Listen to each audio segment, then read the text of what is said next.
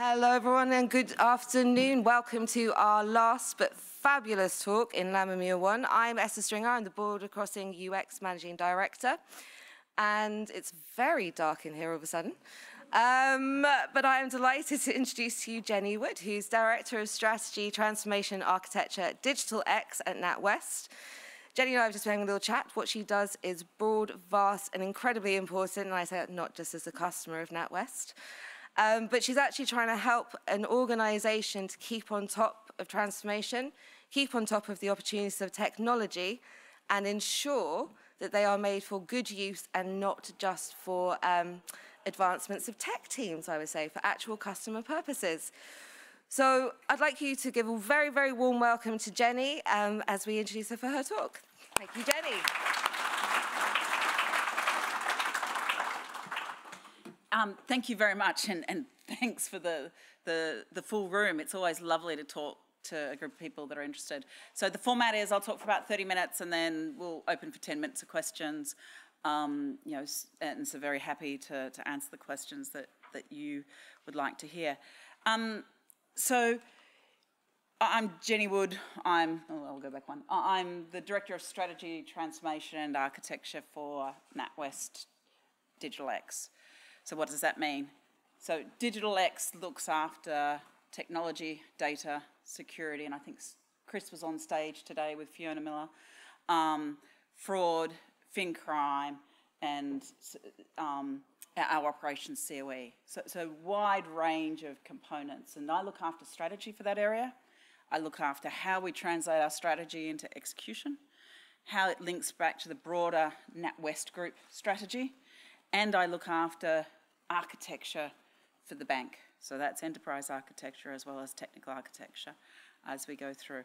Um, as you can hear, I'm not from around here, though I do live in Scotland. Very passionate about Scotland, lived in Scotland for the last eight years. And um, if you heard us talking earlier, you know, Scotland's brought a whole stack of new experiences and um, opened my eyes to vastly different things. But I grew up in Australia and I've got a background in technology um, across telco, and financial institutions, but also little companies and big companies, um, which is, you know, always gives me a different perspective on life to, to people who've only worked big and small. Um, moved here eight years ago to, to do a role in, in RBS, um, you know, and RBS is the, the brand we love in um, Scotland, um, but, but it's part of the broader NatWest group. And so NatWest operates across eight countries, and has over 19 million customers. We're headquartered here in Edinburgh, and many of you may know of our site out in Gogarburn, which is a fabulous campus with um, the opportunity for our 8,000 staff to come together, 8,000 Scottish staff to come together and meet and congregate and collaborate within a um, wonderful environment. Um, we also have offices across the UK, in Manchester, Birmingham, London, and we've got India Tech Hub that we, we work with. We made 5 billion operating profit um, before tax in 2023, so in the first nine months of 2023. So, so we, we talk at scale. And so when we talk technology, we talk at scale. And that's partly why we like to talk about technology as a business, because not only does technology do amazing things for our customers and for our colleagues, but it, it's actually large enough for us to have to think about how we choose what we do and making sure we do it in the most effective and efficient ways as we come through. A um, little bit of scale, we're the second largest mortgage lender in the UK, and we process 40% of um, payment flows in the UK daily. And so, you know, we, we do a huge amount of things that help ordinary people in the UK connect together and do the things that they want to do and enable them to live their lives the way that they want to. We cover retail, commercial, and institutional, and private banking. We've got seven brands, and our oldest brand dates back to the 1650s. The RBS brand that dates back to the early 1700s. So we've got a lot of heritage in what we do and how we do it and how we think about it, which well predates the advent of technology. Technology as we know it, you could argue the evolution of technology starting from from older times. Um, for technology, we have 2,800 applications, um, 45,000 distributed servers, um, of which about 80-85% are virtualized, um, 88% of our customer needs are met digitally. So when you think about what we call Digital X at the heart of a relationship bank, you know, we basically make, you know, 88% of our customers deal with us in a way that's serviced by the technology that we provide. And Digital X, which is the area I'm a part of, has over 35,000 colleagues. So we, we have to think about that in a scale of a business because even though we exist within NatWest, we're still large in terms of what we do. Um, one of the things we're very proud of is the work we do across the innovation ecosystem, the fintech ecosystem, both here in Scotland um, and in the broader um, UK. So when we think about running technology in big banks, you know, it, may feel like you know big banks have huge amounts of resources. They've got big technology teams. They've got legacy technology, new technology. One of the things when you work in technology in a big bank is diversity is everywhere, and you have the opportunity to to do that type of do whatever type of work you want to do. But there is old and there is is new. But we need to think about technology of business, and one of the things we have to think about is how we get faster at doing what we need to do. The cycles of change have just got faster and faster every year. You know, you take a look at the new evolution, and we used to talk about how Uber came through and how we had um, Amazon and all of those shifts. And you take a look at the recent one with Gen AI, which pretty much went from still in theoretical mode, lots of techies knew about it, to suddenly public in about three months from the, the first start of the real noise to the, the, the big noise. The cycles of change and the cycles of evolution, of innovation that we sit within are getting faster and faster. And we need to think about how we respond and react in the right way, which is responsible for our customers, but actually keeps us at the edge of what we need to do for them in a way that gives them what they need to do, as well as our colleagues. Because, you know, when you th think about things even like Gen AI, you know, one of the key applications is to help engineers code better, to help engineers get access to things they didn't.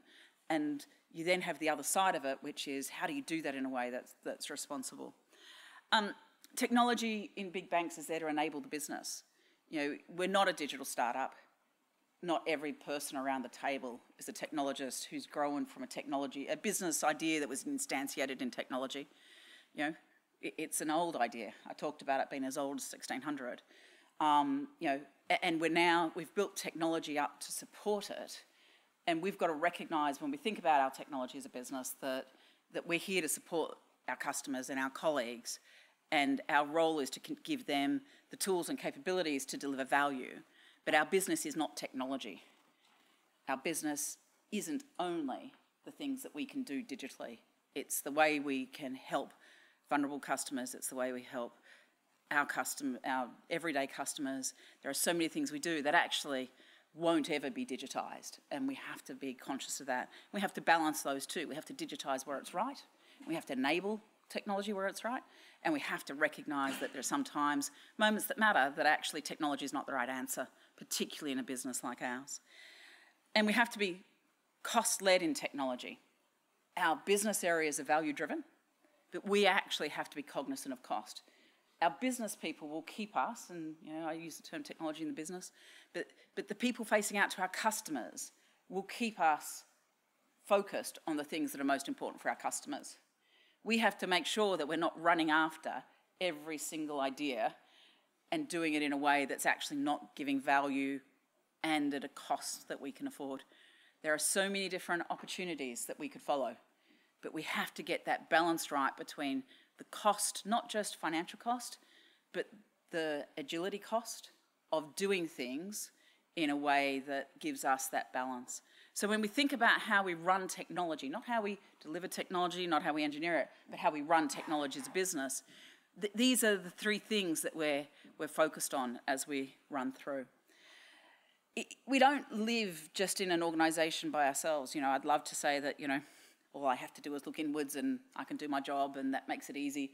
You know, we, we live in a world where everything around us is changing. We saw the latest announcements on NI changes, which change the cash that people have available to them, change some of the questions that they're asking about their financial needs. Um, we know that we're in a position where um, interest rates and um, the cost of contracts and Salary growth has been phenomenal over the last couple of years. And in fact, someone gave me a stat which I can't attribute, but I'll, I'll requote on the, the context that you might need to check it. You know, that effectively we've seen the greatest rate of interest rate rises, the greatest economic growth period in 40 years. Um, you know, many people haven't lived this before. And so when you think about the way people are acting or the information customers want, the way our colleagues are feeling, the way we need to use technology to support that, that's vastly different to what it was three years ago during COVID when we were just worried about enabling people to work at home and making sure that everyone had what they needed to get through that period. Um, so the macro and microeconomic environments are vastly different now to what they were three years ago. And with banks, if you lift it up, you know, that means our focus on return on tangible equity and our focus on um, our RWAs and net interest rate margins as we see a crunch between some of the, the factors out there makes it different for us in terms of what we're thinking about in terms of cost versus growth as we come through, which actually means we either have less to spend or we have to be smarter about how we spend it. And we have to make sure we're investing in our people and our talent at the right ways. But our suppliers, our partners actually need more from us as well during this period. And so it gives us a very different set of equations that we, we manage with them. The regulatory environment, you know, and I always like to think of regulation as something that keeps us honest and something that keeps us focused on customers and is there to ensure that we're doing the best thing that we can do for our customers at every point in time. Because that's really what regulation is. It's that, that check to say you're doing the best thing you can. So consumer duty is all about us making sure we're doing the right thing by our customers. Um, you know, the regulations that we have around making sure we manage our third-party risk is really about making sure we're there for our customers. And so for me, regulation's an enabler to the outcomes we're after. Um, and, but what it does do is it can cause us to have to do things that we might not otherwise choose to do. And so we need to make sure that we're focused on delivering under the regulations that we have and in the time frame that we're asked to meet the regulations. And so that's another factor that we play in. Um, lots of competition, digital banks, niche banks, um, people who can get one feature out far quicker, who aren't subject to the same regulations that we are but people who can react in the market faster than us are people are something that we need to watch and we need to consider and we need to partner with. And so you'll have seen us doing work around Rooster Money to make sure that we've got the right partnerships going. And you know, we bought Rooster Money to, to give us support in the youth market for something we couldn't do internally at the pace we wanted to. So we, we acquired. Cushon's another one in pensions, which is another conversation. And so for us, that external market doesn't just come in how we build technology, but it might come in how we acquire technology too. Um, sustainability is key. I love AI, and I've got a quote later, but you know, compute, consumption, the cost of technology doesn't just come in the money we spend on the people who are going to build it and the contracts that underpin it. it comes in the compute, the electricity, the way we've got cycles running and those sorts of things. And so sustainability is really key. As we make models more available to our modelers so that they can make better decisions for our customers, they use more compute, which drives our cost of technology up. And so all of these factors come into us thinking about what we do. Um, and the last one is around balancing the tensions, which is all of these things come together and say, you know, how do we think about the, the value we create and choosing to do the right things as we head towards, um, you know, the thing that we need to do, which is deliver to customers and colleagues and to our shareholders. So internally, you know, we've got everyone who wants to do everything. You know, just before I came in, I had 17 different people pinging me about someone who's published that they're doing internally something on AI. You know, and everyone's going, does anyone know who's doing this? How do we know who's driving that conversation? Is it in line with this other conversation? Is it, are we all heading in the same direction? Are we going to do it with the same suppliers? Are we not doing it with the same suppliers? Um, our business demand is ever there. And as we live in a more technological world where everyone can see what other people are doing, that demand only grows. We could have budgets well in excess of double, triple what we've got, and we could still spend it all. Whether we could spend it effectively on delivering value is another question. But we've got the demand to do far more than we do, which is why choosing is the right thing to do. And how we prioritise, particularly where we put our investment in technology, is really important. You know, we can't do it all ourselves, and so it is about partners and how we manage the relationships with our partners. During COVID, it was very important to us that we partnered with them to work out how they were going as well as how we were going during that period because of the fact that everyone was struggling. We needed to make sure that we all banded together to make that come through.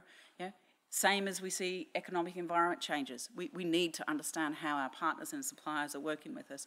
And we see costs going up, which means that we need to then manage how we cope with those increased costs. Operational resilience and security, and if you saw Chris talk about security earlier, you know, it's something we're passionate about, but also kept making sure that our services are available and we do what we said we'd do. Um, and operational resilience sometimes comes at a cost, a tactical cost. The strategic cost of operational resilience is you don't get upset customers, you don't get phone calls, you don't get um, a poor customer experience and customers can do what they want to do. But it may feel at the time like some of the things you have to build in to make that resilience happen are costs that you may not want to have at that particular point in time. And the last one, and this is where I love, you know, Edinburgh, Scotland, um, you know, it's talent and supply versus demand. And for us, one of our key focus areas is ensuring we've got the right talented engineering and technology staff who feel enabled to do what they need to do um, to deliver to our customers. And so a, key, a big part of my job under the strategy is how do we help that workforce grow and how do we make sure we've got the right diversity, the right talent, the right tools for them. So when we get the right people in, they feel like the organisation's there for them. Take a slight tangent here to innovation. And so you know, I don't need to tell many people in this room that, that the rate of innovation is increasing, and we spoke about this, this earlier, and um, we spoke about the fact that Gen AI, you know, has just come through and has rapidly changed plans that were even in place 12 to 24 months ago, you know, because of the fact that there are capabilities that we hadn't thought we would have to build into the normal planning. Everyone was watching it, but suddenly it's become the big thing. It's the big thing that everyone wants to make an announcement about. Um, and, in those ways, you know, we, have got to be able to react as an organisation. We've got to be able to repivot investment. We've got to make sure we've got the people with the skills to actually do the work that we've been asked to do and make sure we've got the partners in place to understand. You know, and for us, you know, when you think about some of the innovation you're seeing come through, it comes through not just in how we use it, but it's how all our vendors and our suppliers use it. You know, people are now building AI and modelling into the products they have. We've got a lot of regulation around model, model risk that we need to cover as a bank and data ethics. And we've got very strict standards ourselves. And so it goes beyond us understanding what we're doing, but also understanding what all the people we work with are doing and how they're applying some of that innovation. But it's getting faster and faster. And it's only got faster since, you know, you can talk about the agricultural revolution, you can talk about the industrial revolution, you can talk about the technological revolution. You know, we're now in a, a knowledge revolution, data revolution. Um, that that, that the cycle times are just getting faster, and our need to react is just getting faster as we go through. Um, and you know that means that we always, as a part of our business, have a, have have one eye on what we're doing now, but we have one eye on the horizon. And the horizon can be very different depending on where you're looking to see um, the application. And some of it will come from financial services, and some of it will come from companies like us. Some of it will come from companies that don't look anything like us. And our job is to actually try and balance between the two what we see coming from companies like us and what we see out there. And so at the moment, we're looking at generative AI, we're looking at edge computing, we're looking at um, how we can use DLT. DLT is one of those technologies that hyped for a while, it sort of came back down, and now we're seeing it come back in as we start talking about um, digital um, assets and digital currencies and um, the Bank of England's work around that space, and so we'll see some more on DLT. Um, you know, what we do with natural language programming, um, natural language understanding. So quantum is another one, you know, that we're, we're watching very closely you know, if quantum takes the same jump as AI has taken, you know, that changes the whole world in terms of speed of compute for, for models, for security, for a whole raft of things. And so it's one that we watch very closely. No code, low code. My, my, my franchises and functions want to be able to do their own work. They want to be able to have access to their own data. And so that's one we watch as well. You know, you don't want your company running on Excel, but you also don't want your company having to come back centrally to do everything it needs to do. Um, not that we use Excel as a low-code tool, but everyone uses Excel for something. Um, you know, whether you're using Power BI, whether you're using Tableau, whether you're using Dynamics and any of those things, you know, one of the big things we have to watch is having just enough capability open for, uh, available for our business teams to, to democratize the data that we have. Um, and cloud, you know, I saw a great article about cloud and the, the, the unit cost of cloud and, you know, everyone I talk to, I'm a, on the Technology Business Management Council, and everyone I talk to loves cloud for its engineering capabilities. We're all a little bit apprehensive about the security capabilities that we put over it, not cloud, but, but that we can make sure that we're doing to have our engineers protect the things that they need to. But then when you come to cost is another conversation. And if we don't architect and design our applications the right way, you know, I talk about the fact we've got a finite amount we spend on technology. It's a lot, don't get me wrong. We've got a huge amount of money that, that organisations spend on technology. But if we put it all into running our cloud compute, then actually we're not putting it somewhere else. And that's why we need to manage and monitor and understand how we're doing that. Um, and this is my stat on AI, which is that the AI industry could consume as much energy as a country the size of the Netherlands by 2027. So you think about goals around sustainability, you think about goals around compute, around cost, and you know, all of the impacts of that. And for us, it's around how we think about managing that and balancing it through. Because you want to do it. Don't get me wrong. We want to do it, but we need to do it in a way that manages it through. Um, so for us, um, we are a relationship bank in a digital world. Um, I talked about this. And when we talk about digital X, we talk about engineering, protecting, and operating, because they're all verbs and they're the things that we do. But we need to pull together a whole stack of things to actually make sure that technology is managed as a business. And so we think about it in terms of one bank, which is how do we work together as one bank to do things once, if we can? Or how do we manage the flow of our work in the business to do it the right way and not end up with needless duplication? Um, that means we need to have an architecture that's clear, that's understandable, that's practical. You know, it has to not just exist on a PowerPoint sheet that every engineer puts in their drawer. It has to be something that as a bank we live towards.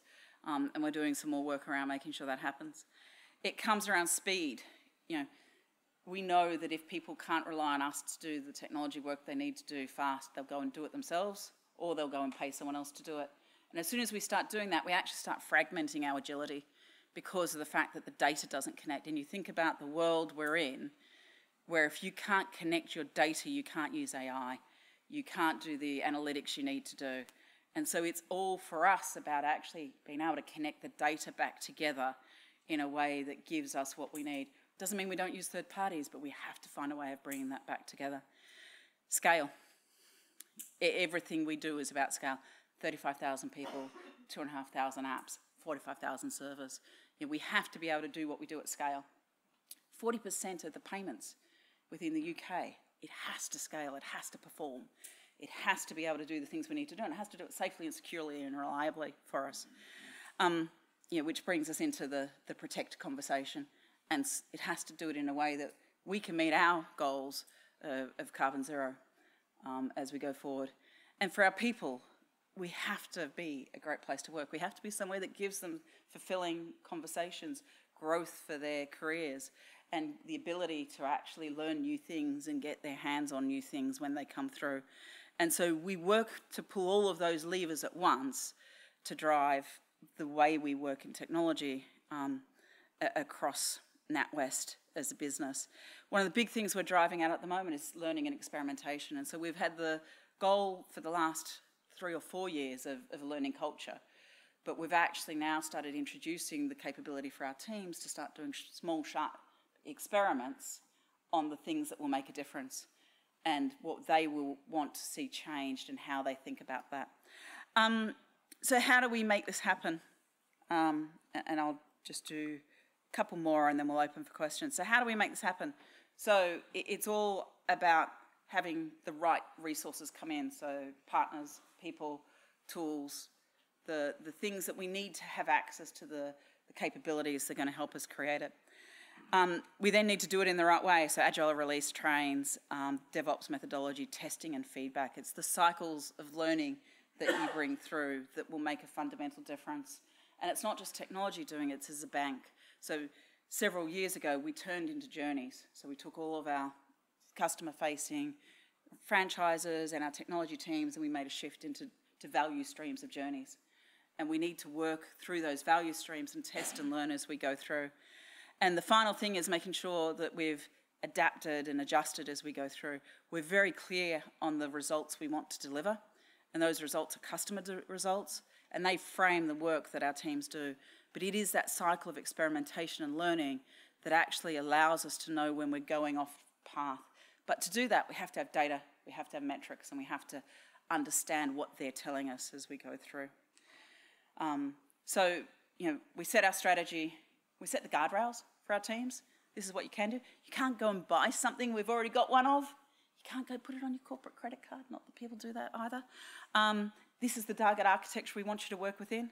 You know, you can deviate, but come and talk to us before you deviate. So if you're working in the architecture, fabulous, go do it. If you're working outside the architecture, come and talk to us. Doesn't mean the architecture is right, but it's just a point of conversation as we go through. Setting governance and standards and the controls that we put over it. So if I sort of come back to, to what we're talking about, so, so technology is fabulous. It enables every single part of our lives. But everything we do in technology is not all about the technology. We have to think about how we run technology as a business. And there's whole groups of people who sit behind the engineers and the, the, the people who are on the front end of how we deliver technology, thinking about how we make sure that we've got the right things in place to run the business that is technology and we're doing the right things with it. Because otherwise, we end up delivering lots of things that aren't valuable to our customers or our colleagues, or we end up being too slow to react because we're not doing the right things. We need to think long term, we need to prioritise the short term because speed of change is coming through. We need to understand some of the opportunities, but also some of the risks of not being um, there when it is. So if we aren't in AI, what's the consequence to us as an organisation? If we don't shut something else down, finite set of money, every five million pounds I spend on AI or every million pounds I spend on AI is a million I can't spend somewhere else that someone thought they were going to get. So those choices we need to make really clear. Um, and we need to listen and adapt because the world's not static. And the final thing we ask of our engineers is to be commercial. You know, shut down that test environment, understand the consumption, understand what you're creating, because we can't do it reactively. We've actually got to build it into everything we do. And so think about green coding, think about how you put your tech out there, and think about what you're creating for your customers to use, because it's got to be sustainable for them as well in the environment they're a part of. So I'll pause there and open for questions. But what I really wanted to just talk about today was what we think about when we run technology as a business across NatWest. Thank you very much, Jenny.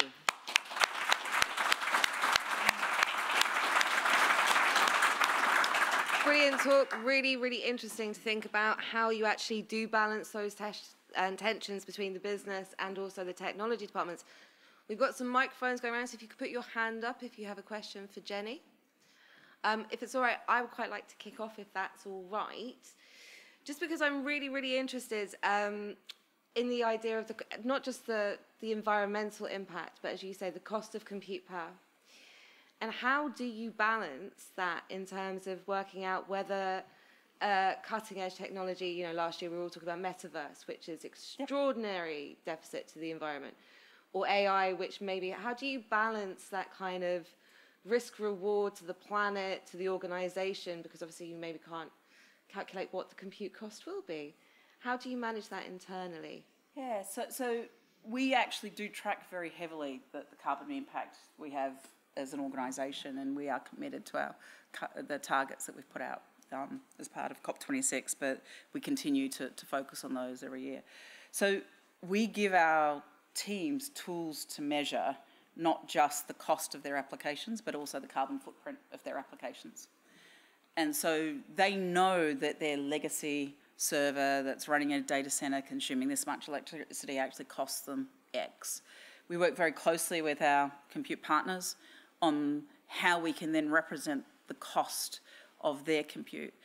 We know that the models increase compute and we're having this conversation internally about how do you balance the benefit from the model with the cost of compute and the impact on the environment, but actually also make sure that people aren't just randomly running models.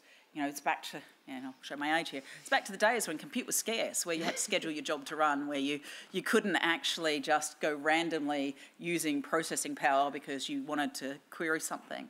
So we're trying to instill a conversation in our business people about the value of what they're trying to do and do they re- actually really need to run another cycle to get the answer or do they know the answer and we're just really, you know, running around the edges. But it's something we're not there with. And the AI conversation is one that we're monitoring and we're measuring. What we will do is we'll be very transparent and we'll have the measures in place and the monitoring in place so that it doesn't run away from us. And that's been very important with cloud because people forget to turn stuff off. Mm. People run stuff over the weekend and it just runs away. And so, you know, that triumvirate of consumption, cost, and impact on the environment is, is how we do it. But we haven't got it right and it's still emerging, but we're trialing some stuff that, that gives those um, that transparency to the person who's making the choice. Lovely, thank you. I guess that's all you can do at this stage is empower people to make decisions within the context of the information they have. Yep.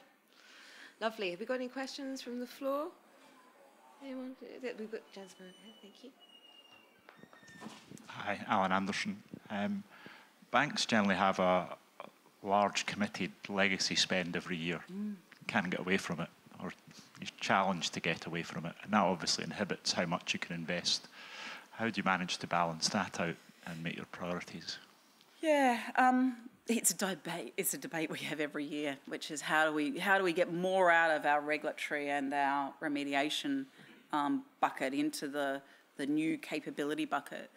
Um, we, we do it in a couple of ways. One of which is we try and make sure that wherever possible we keep currency and remediation actually active while we're doing new stuff. So it's relatively easy where you've got a forward book of work on a set of technology. Where it starts getting harder is where you've got legacy technology that no one touches, but it just works. And they don't tend to be your big things because everyone changes the big things. They tend to be the little things that you want to go and, you know, no one really can cost justify um, taking them out or, or moving them. And so we try and make sure we're doing the right things in that space to keep it current, to keep it at, out of end of life, to keep it um, where it needs to be. But but you will always have spend in that space, whether it's keep show on your road money or, or those sorts of things. That the piece that causes the most interest is actually the regulatory spend. You know, we, we have to comply with regulations, we have to comply with Basel III, we'll have to comply with the ops resilience regu- regulations. Um, and whilst, you know, there are a couple of different ways of complying with those. You can execute for compliance and do your bare minimum spend to meet compliance, or actually you can use them to turn the organisation around and, and think differently. And with things like our payment spend, we've actually tried to use the ISO regulatory work to, to give us what we need going forward in it. But it's a tension that no bank has got right. And I was actually talking to someone from another bank this morning about it. You know, and, and every bank has the same conversation.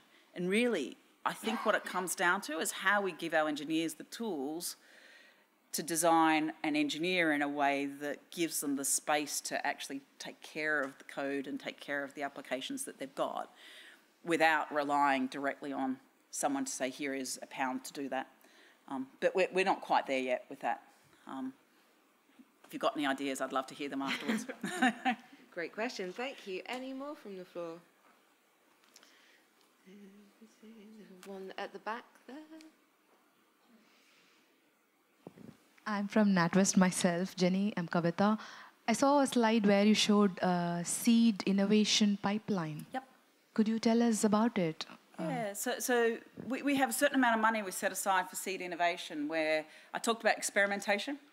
You know, experimentation we're asking people to do without investment technology. The, the systems thinker in me really likes the fact that people think about what they're doing and design it before they, they start building it. But um, our seed innovation funding is where if we've got a good idea that needs a little bit of investment to trial something that is truly innovative to the company, we'll make that available to you.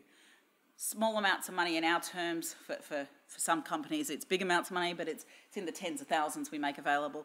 Um, and it really is for something that probably wouldn't get investment through the normal cycles. Has to be really embryonic, but it's something we might try. So, so my team's doing some work with um, the, our people team on technology skills um, with some innovative suppliers on perhaps how we can use our mining of technology skills and what we know about um, the, the, skills with the work that we've got in terms of job families and training to better generate pathways for our people to, to grow. Um, and there's some really nice stuff around AI that can help us do that. But, you know, it's a small little piece of work. It's something we're doing on the side. But, you know, if it works, then we'll come back into the standard investment funds to do it.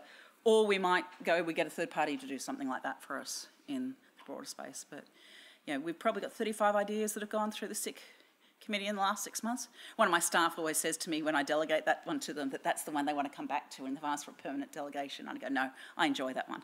Um, so I'll do that one. Lovely, thank you. Great question.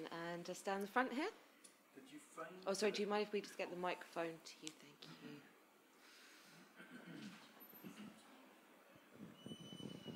Thank you so much. Hopefully it, it work, working? Yeah. Yeah. Yeah. um, um, this uh, culture of experimentation, did you find that after you kind of got to a certain point, it just almost had a, a life of its own, and it became almost like, yeah, the just new way of doing things? It's my biggest desire and my biggest fear. Um, you know, we are seeing a huge number of people doing experiments on things that they want to make different we, we do find they're a little bit self-fulfilling still. We're not quite at the point where our experiments are get setting out to disprove my hypothesis. We're still at the point where people are setting their hypotheses in a way that they want to prove them. And so we haven't quite broken that let's get it right every time. We're not seeing enough of them fail, I'd say. You know, our seed innovation committee, we do see failure. We see you know, we are probably only expecting one out of 10 to go through to anything that we're likely to use, if that. But our experimentation, we're still getting our people comfortable with the fact that it's not just a way of gathering data and using scientific method to prove the thing you always knew. Um, but the, the vocab's changed in the last 12 months across the company. And you know, even some strategy work I'm working on at the moment at a more senior level, we're talking about the hypotheses that we want to prove that would make a difference towards us achieving an outcome or the hypotheses that we want to disprove um, in that space. But it, it, does change that learning conversation. Um, one of the things we struggled with when we first brought learning organisation out was people equate learning to training, just like they expect, they sort of equate experimentation to I want to change somebody else's world or things like that. And so we had to do a lot of work to get learning equal to performance. So, so you learn for performance, you get knowledge to help your performance, and you should measure and work out where you want to grow. You know, just training without thinking that you're going to, to apply it in some way just isn't enough. Same with experimentation. You know, we're in that early cycle of, you know, let's pick the big things and let's not, let's work out what you can change, not the pet project that you, you now just want to go and whack on somebody's desk and say, hey, here's the data that says my pet project's right. But we're getting there, and the, the vocab's changed dramatically, which is always the start of those cultural journeys. Wonderful thing. There must be quite a challenge to because we are we do like to be validated in our thinking, don't we, as human beings? So we, we do, and you know, it's the scarcity versus the growth mindset. Mm-hmm. You know, if you think money's scarce, if you think resources are scarce, and you have to validate it, you, you're you're down here trying to validate what you want. If you actually can make that shift to to a growth mindset, you actually think very differently about those things. And so, so that's actually one of the hardest things in the shift that we're trying to do, which is the, the whilst it might feel like you're not getting what you want, you know, you're a part of a big organisation that, that has opportunities and perhaps there are different ways of, of solving the same problem. And if you haven't got it, you know, a bit like the AI one, we had to take money off somebody to give it to AI because money doesn't, as much as we all wish it doesn't grow on trees. Um, and so to do that, you know, someone had to stop something. And so it's as important when you do things like experimentation to know what you're going to stop and why you're going to stop it as it is the things that you're going to go ahead on.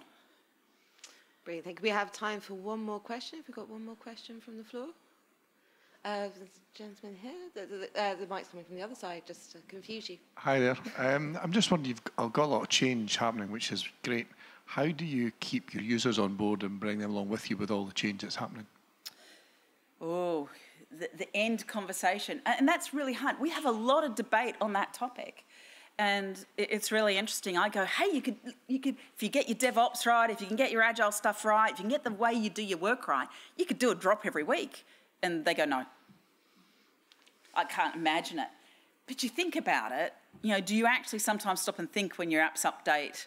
In fact, you've got auto update on, so you probably don't know how often they update. But it is one of those things where that balance between distributing a change that's going to impact customers or colleagues and actually distributing a change are two different things. You know, I learned in, in the pharmaceutical industry at one point, um, you know, th they separate deployment and, in fact, not even deployment, they separate build, deployment, and then advertising. And so we don't think about change that way. We think about it being tightly coupled together. And so one of the things we have to work to do is help our engineers build and design in a way that separates the three, because you could deploy without switching it on. We know that. It's simple, simple engineering. You could actually deploy without advertising it you know, beta functionality who stumbled across something that was in an app that they didn't know was there and then suddenly went, oh, I really like that. And then suddenly it goes viral and everyone's using it before they can advertise it. Um, but separating those three things out is really, really important. But the other thing comes to how you design it and how you prepare for it. And, you know, if you do everything big bang, then it feels really big. If you perhaps do some tweaks along the way that bring you closer to where you want to get to in the end, then people don't notice as much. And, and it is all about that. And we get it wrong sometimes and we get it right at other times. But, but it does actually start from the way we engineer, design, and architect. Um, and tightly coupled architectures limit, limit your ability to do that. So one of the challenges I've got for my boss at the moment is how do I make the architecture looser? Mm, that's that's tough one. Great question though, because having just updated my iOS, um, I am most displeased with the changes, even though I'm sure they will be much better for me. People don't like change. um, well, if you could join me in thanking Jenny one more time, but absolutely wonderful.